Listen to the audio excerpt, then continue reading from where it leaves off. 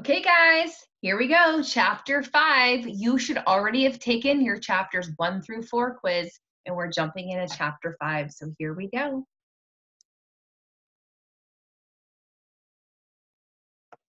Chapter five is titled The Birthday Bash. I got used to the way Fudge looked without his top front teeth. He looked very, he looked like a very small first grader. Dr. Brown, our dentist, said he'd have to wait until he was six or seven to get his grown up teeth. I started calling him Fang because when he smiles, all you can see are the top two side teeth next to the big space, so it looks like he has fangs. My mother didn't like that. I want you to stop calling him Fang, she told me. Well, what should I call him? I asked. Farley Drexel? Just plain Fudge would be fine, my mother said. What's wrong with Farley Drexel? I asked. How come you named him that if you don't like it? I like it fine, my mother said, but right now we call him Fudge, not Farley, not Drexel, and not Fang. What's wrong with Fang? I asked. I think it sounds neat. Fang is an insult. Oh, come on, Mom. He doesn't even know what a fang is. But I know, Peter, and I don't like it. Okay, okay, I promise never to call my brother Fang again. But secretly, whenever I look at him, I think it. My brother, Fang Hatcher. Nobody can stop me from thinking. My mind is my own. Fudge is going to be three years old.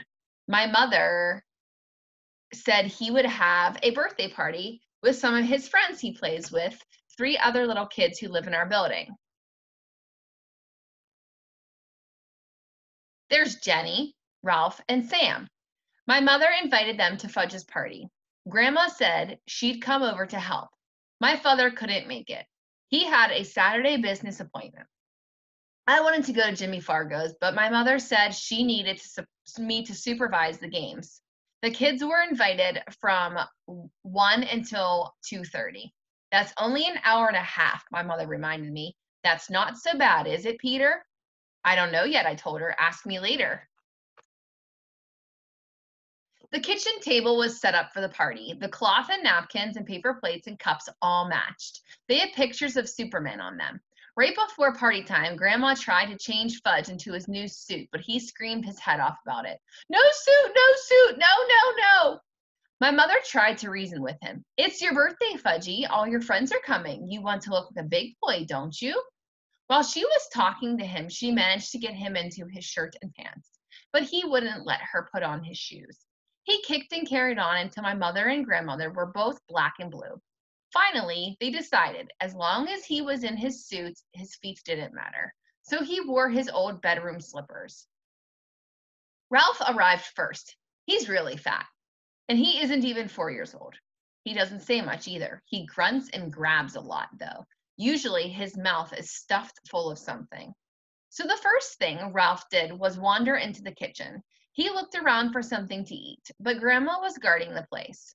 She kept telling him, No, no, must wait until the other children come.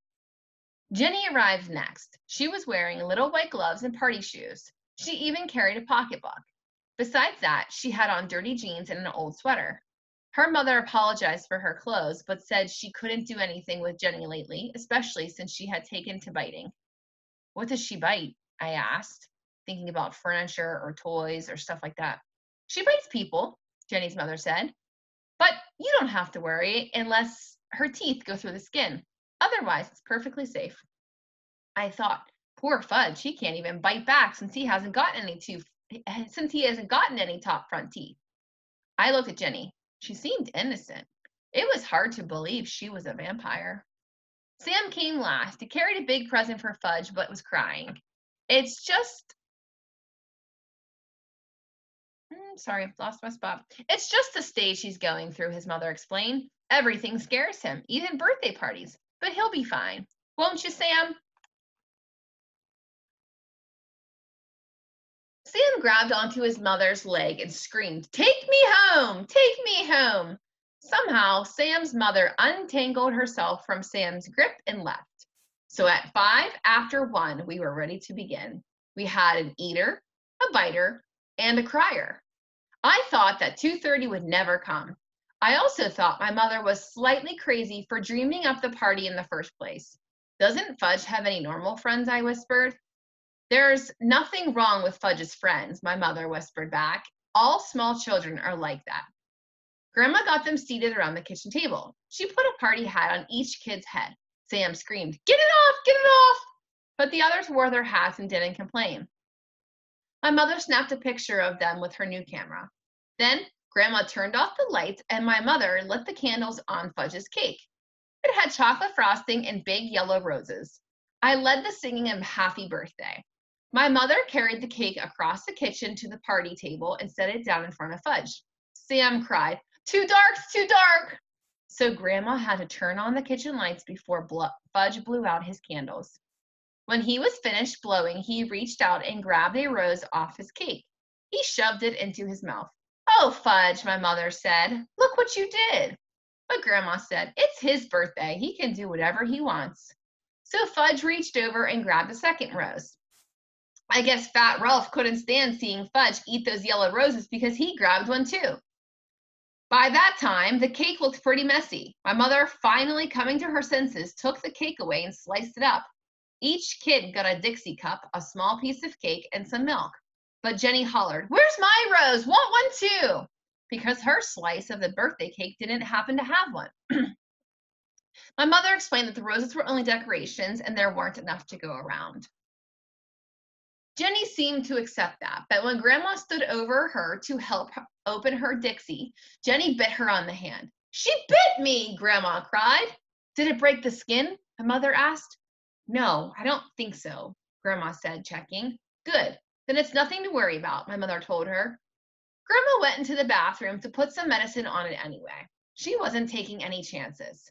Ralph was the first one to finish his food. More, more, more, he sang, holding up his empty plate. I don't think you should give him any more, I whispered to my mother. Look how fat he is now. Oh, Peter, this is a party. Let him eat whatever he wants. Okay, I said. Why should I care how fat he gets? My mother served Ralph a second piece of cake. He threw up right after he finished it. Me and Grandma took the kids into the living room while my mother cleaned up the mess. Grandma told Fudge he could open the presents while his friends watched. Jenny brought him a musical jack in the box. When you turn the handle around, it plays Pop Goes the Weasel. When you reach the part of the song about Pop, the top opens and a funny clown jumps out. Fudge loved it. He clapped his hands and laughed and laughed and laughed. But Sam started to scream, No, no more, take it away. He hid his face in his hands and wouldn't look up until Grandma promised to put the jack in the box in another room. Fudge opened Ralph's present next. It was a little wind up car that ran all over the floor. I kind of liked it myself, and so did Ralph, because he grabbed it away from Fudge and said, Mine! No, Fudge shouted, Mine! When my mother heard the racket, she ran in from the kitchen. She explained to Ralph that he had brought the car to Fudge because it was his birthday. But Ralph wouldn't listen. I guess my mother was afraid he might throw up again, and this time on the living room rug, so she begged Fudge to let Ralph play with the car for a few minutes. But Ralph kept screaming it was his car. So Fudge started to cry. Finally, my mother took the car away and said, Let's see what Sam brought you. Fudge liked that idea. He forgot about the little car as he ripped the paper and ribbon off Sam's package. It turned out to be a big picture dictionary, the same kind the Yarbys brought me a couple months ago. Fudge got mad when he saw it. No, he yelled, no more book. He threw it across the room.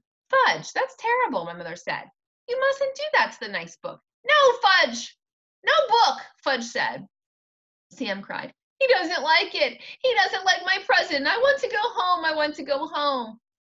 Grandma tried to comfort Sam while my mother picked up the book.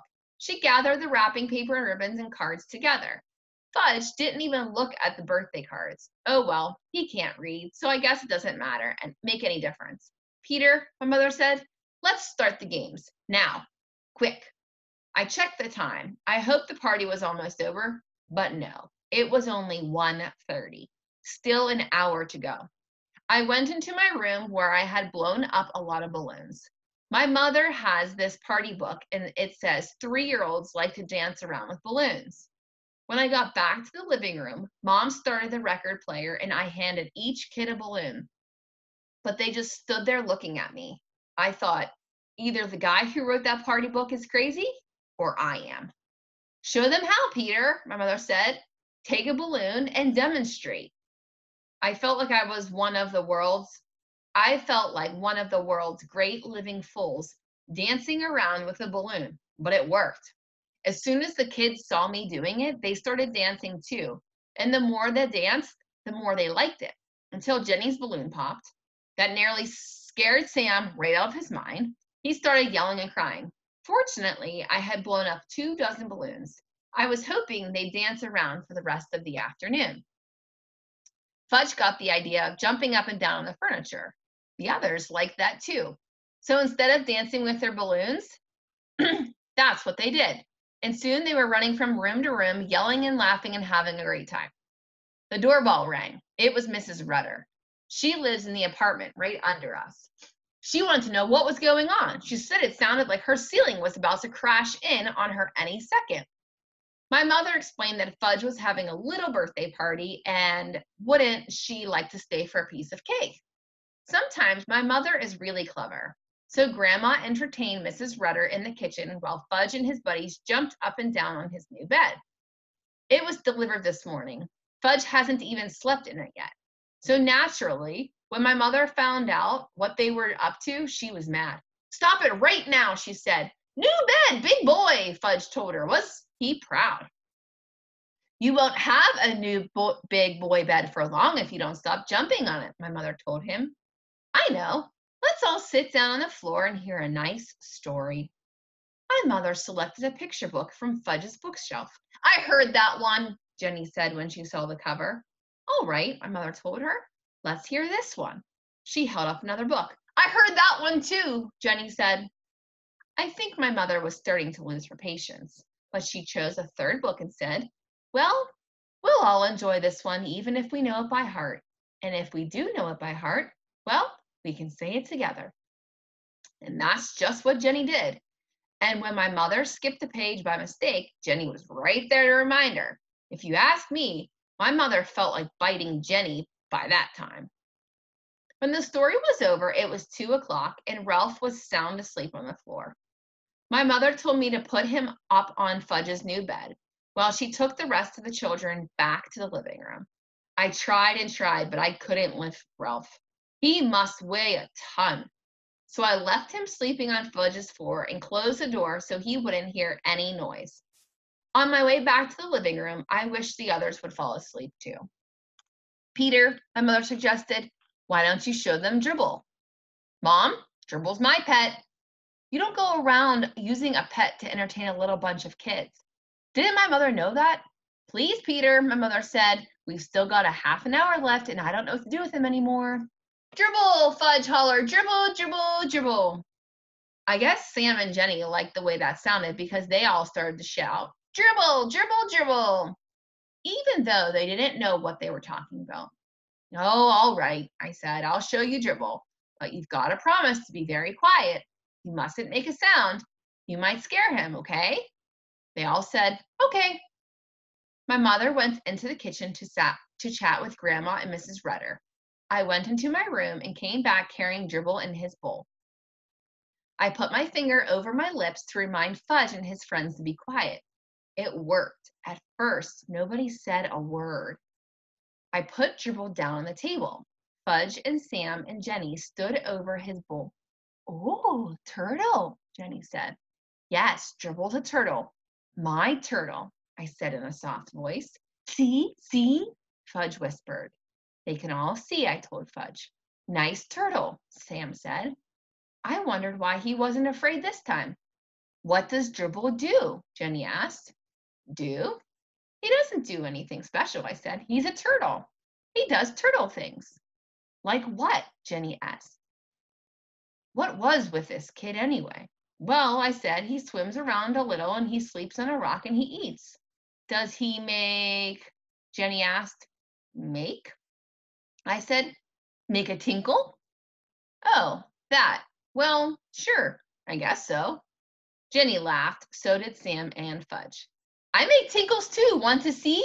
Jenny asked. No, I said. See, see. Fudge laughed, pointing at Jenny. Jenny had a big smile on her face. Next thing I knew, there was a puddle on the rug. Mom, I hollered, come back. My mother dashed in from the kitchen. What, Peter? What is it? Just look at what Jenny did, I said. What is that? My mother asked, eyeing the puddle. She made on the floor, and I said, and on purpose.